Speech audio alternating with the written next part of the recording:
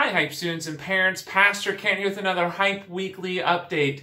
For our trivia question this week, we have this. What was the name of Abraham's nephew?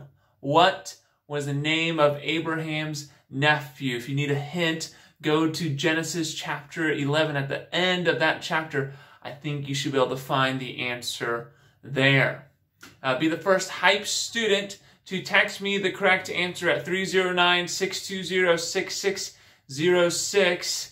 And instead of getting a free item from Hype's concession stand, since there's no more Hypes until August, our, our, our Hype Sunday evening program ended last Sunday, and since there's no more until August, uh, what we're going to be doing over the summer is that if you get uh, the question right first, then I will mark a tally next to your name and the student with the most tallies at the end of the summer break will get a $25 Amazon gift card.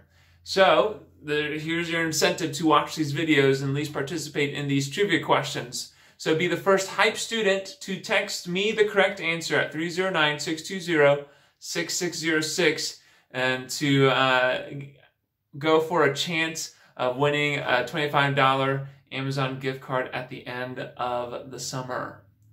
If you're unable to be with us uh, this past Sunday evening, it was our last uh, Hype Sunday evening programming for the, the school year. Um, we uh, honored our graduates, our 8th grade and 12th grade graduates. Um, we had lots of games, uh, lots of food, and we honored uh, one of our longtime Hype, volunteer, Hype volunteers who has uh, decided to step down um, from the ministry in Van Frederick. And so we had, we had a good uh, night uh, honoring a lot of people, um, but as at the same time also having a lot of fun and playing a lot of games um, this past Sunday. Uh, one one of the things that I encouraged our graduates and I left them with with a charge, with an encouragement, uh, was to finish well.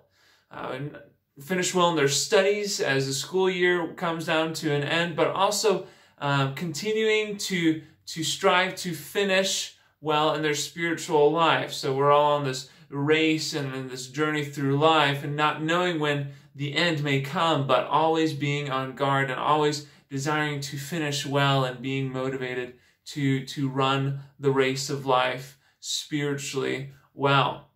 Uh, we looked at Hebrews 12, 1 through 2 as our primary text for our uh, lesson this past Sunday, and I just want to reread those verses to you now.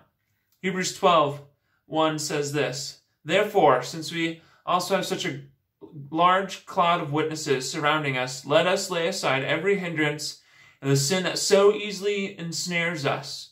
Let us run with endurance the race that lies before us, keeping our eyes on Jesus, the source and perfecter of our faith. For the joy that lay before him, he endured the cross, despising the shame, and sat down at the right hand of the throne of God.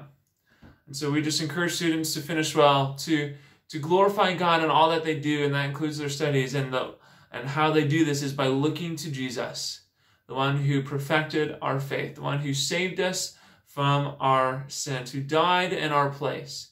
Keep our eyes fixed on him as we run this race of life well. Some announcements um, just going forward through the summer. Um, since we don't have a, a regular scheduled uh, hype program on Sunday nights, our activities are going to be more sporadic throughout the summer. And so um, my only announcement is to stay uh, tuned to the hype uh, text updates, the uh, emails that I send out every week, the uh, Facebook and Instagram posts, as we'll be posting updates on what we'll be doing throughout the summer um, through those channels of communication. Um, I hope you found this video to be informative and encouraging, and I hope you have a great rest of your week in the Lord. God bless.